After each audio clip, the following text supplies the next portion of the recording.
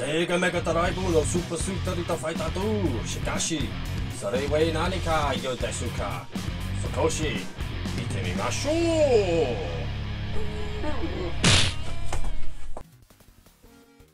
If you're a fan of Street Fighter 2 back in the day, then Super Street Fighter 2 would widen your eyes. In the arcades, I remember seeing this intro screen and being blown away of how impressive this looked. But is there that much to get excited about? These games are hard to improve on because it's a standard one-on-one -on -one fighting game and big improvements have to be made to get people interested. You get four new fighters and they are Cammy, T-Hawk, Fei Long and DJ.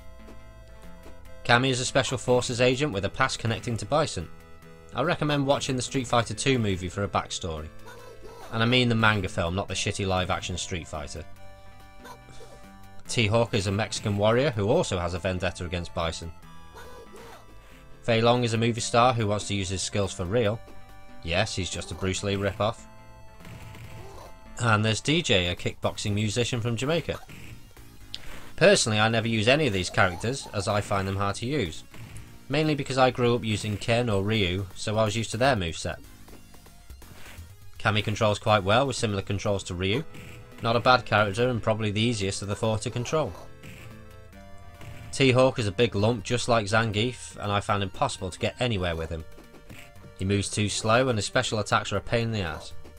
Like most characters, their special moves are either vertical or horizontal, but his are diagonal which means your timing has to be precise to get a successful hit in. Fei Long is a quick character with vertical and horizontal moves, but only two to play with here, and they aren't that impressive.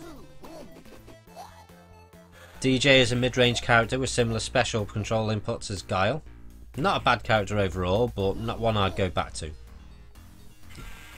All the other characters from previous games are here with minor upgrades, Ken's Dragon Punch has fire when he attacks, and Ryu can perform an orange fireball in his Hadouken.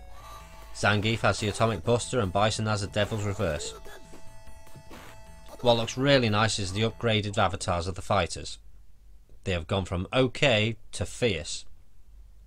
Even the beaten faces look 10 times better.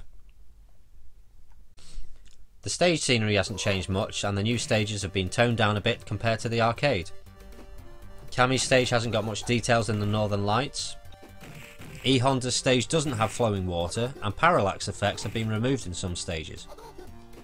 The music is okay and sound effects are just as bad as Champion Edition. Guile has a new Sonic Boom vocal which doesn't sound right. The sounds of Ryu and Ken's special attacks sound as broken as before.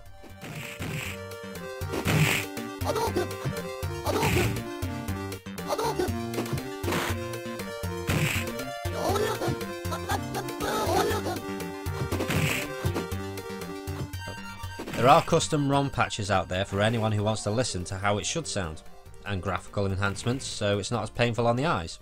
As for controls, I found them to be fine, but if you're still using a 3 button pad, then you're going to have some fun using the start button to switch between punch and kick. This also becomes a bastard when you need to pause it, and you can't. There are other modes you can play such as Tournament, Challenge, Versus and Group. I really didn't see the point in any of these additional modes other than Versus, unless you have loads of friends around. It's only a point scoring challenge or elimination matches that I don't remember anyone talking about when this was released. This isn't a bad game for the Mega Drive, but I do think they cut corners. It's been proved that better sound and visuals were possible, and maybe if they focused on that instead of the extra content, it could have been a better game. The Super Nintendo stood above the Mega Drive versions previously and still does with this game. If it's a decent version you're after, then I'd recommend the arcade edition, which can be found on the 30th anniversary collection for modern systems. Round two, fight!